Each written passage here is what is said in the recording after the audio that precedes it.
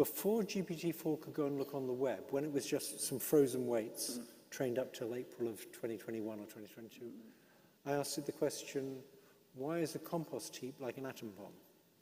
Why is a... Compost heap like an atom bomb. Oh, okay, yeah.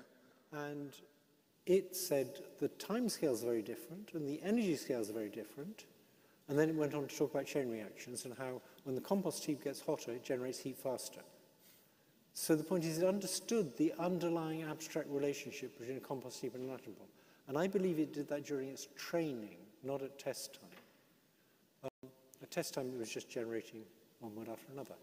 I think in order to store the knowledge, it had to see relationships.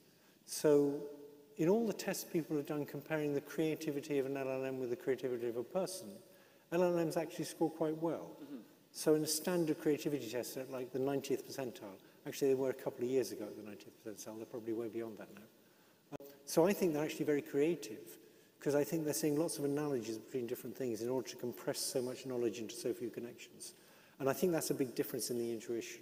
You think they're mimicking what's in the training data. I think they've used the training data to see all sorts of relationships, and now they can be very creative.